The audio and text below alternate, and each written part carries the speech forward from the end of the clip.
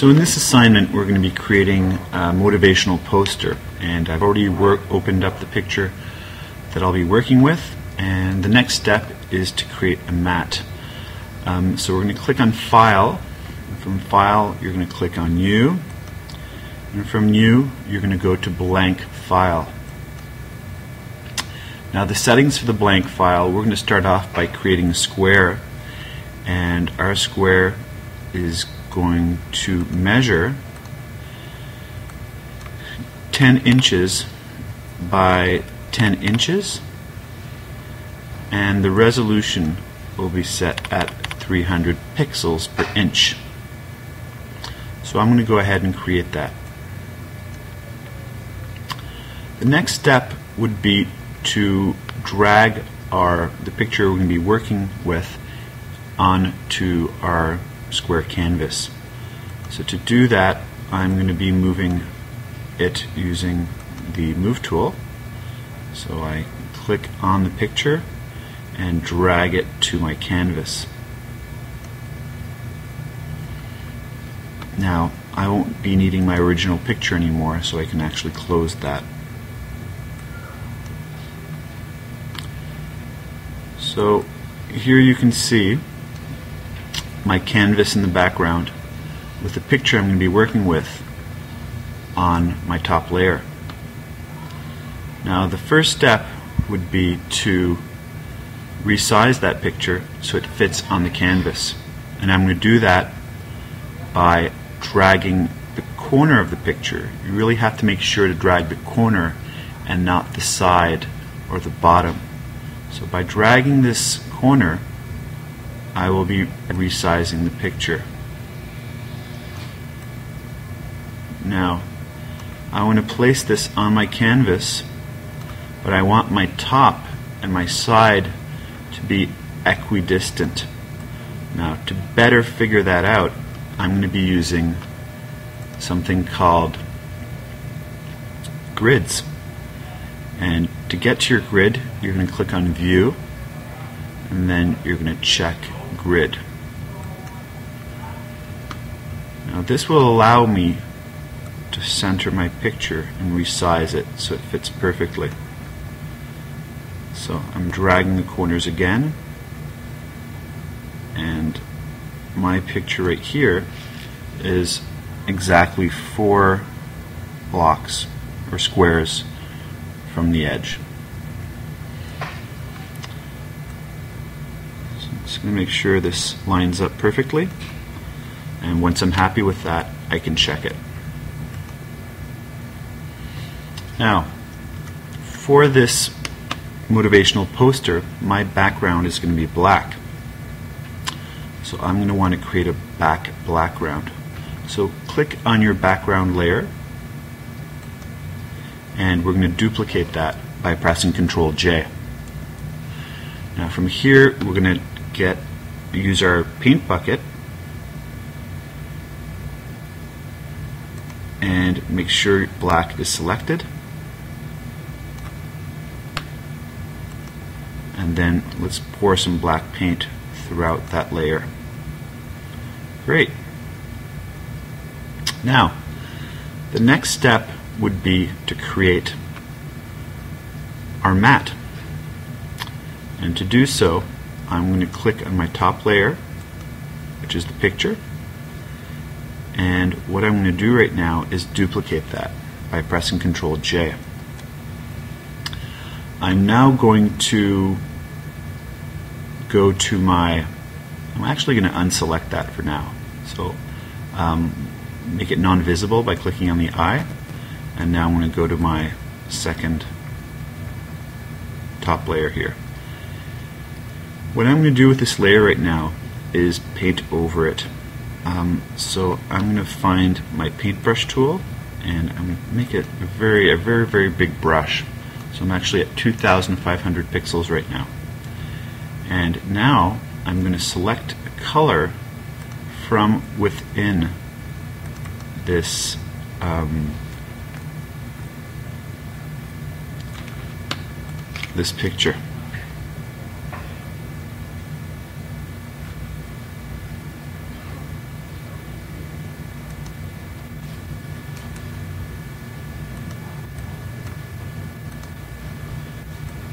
Color I'm going to pick is probably an orangey color from the flowers.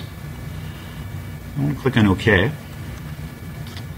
And now what I'm going to do is, um, before I start painting, I want to tell Photoshop that I just want to paint the, um, the picture itself to create that matte. So what I'm going to do is use my magic wand tool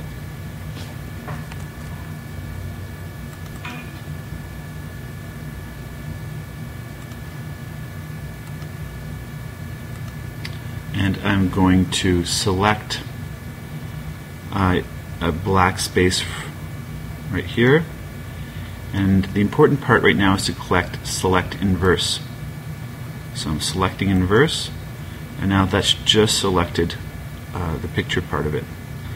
And that's when you choose the paintbrush tool and you're going to paint over it. So I'm painting my orange all over that picture. And now I have a orange rectangle to work with. So from here what we're going to do is we're going to make that top layer visible again by clicking on the eye. And what I'm going to want to do is by keeping the um, orange rectangle layer activated, I'm going to resize that. So to resize it, what you're going to do is you're going to go to image and then you're going to click on transform and then click on free transform. Now it's really important right now that you uncheck the constraint proportions box at the top. That has to be unchecked. And now what we have to do is zoom into one of the corners of our picture. So I'm going to zoom into the top corner first. And right now what I'm going to do is click on the corner and drag it out. Now I'm going to drag it out half box. Now that's one side of it. Now I have to do the other. So I'm going to go to the opposite corner and I'm also going to drag it out by half a box.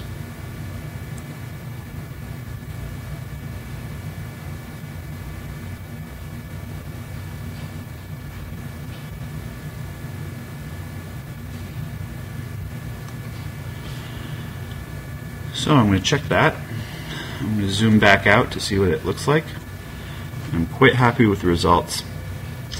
And just for now, I'm going to take off my grid by clicking on View and then Grid. So here we have it. We have our picture, we have our matte. That's the same color as the flowers in the picture. And the next step would be to add um, a heading. So for that we're going to use the text tool and you want to make sure that the text you choose is quite sober.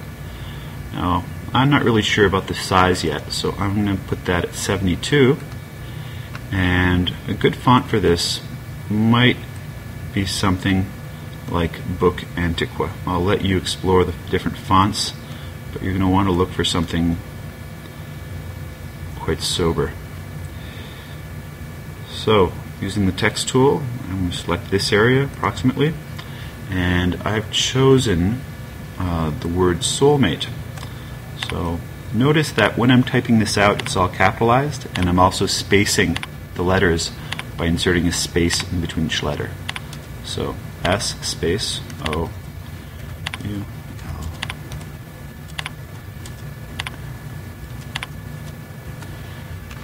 Perfect.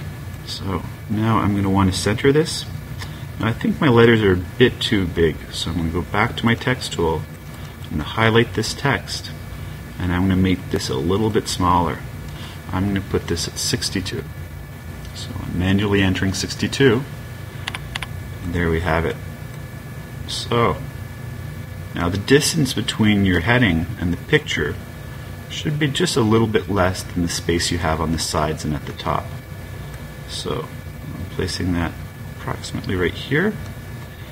And the last step would be to enter a quote. And the quote you can write just below it and usually the text is a bit smaller. I'm going to put this at 24 and what I'm going to do right now is write that text just below it.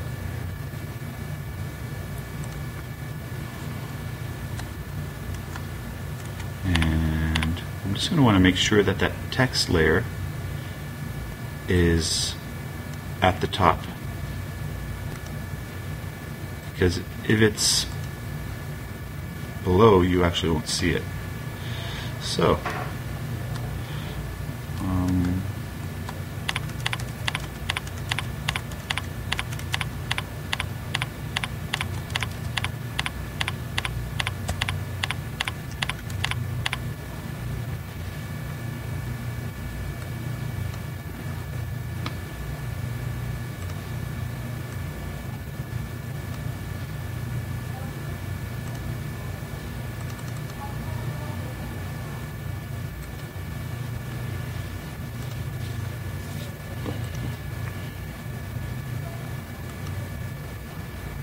the last step would be to, there's a bit too much space at the bottom right here. And what we're going to do right now is um, crop that out. So by using your crop tool, you can crop and actually just want to make sure that the crop settings are empty and then you can just crop this. And the spacing at the bottom should be the same spacing that you have on also on the sides. So there we have it. I'm quite happy with the results right now. I'm going to save that as a PSD so I can work with it later. And I'm also eventually going to resize it for the web so I can post this. Thanks for listening to this tutorial.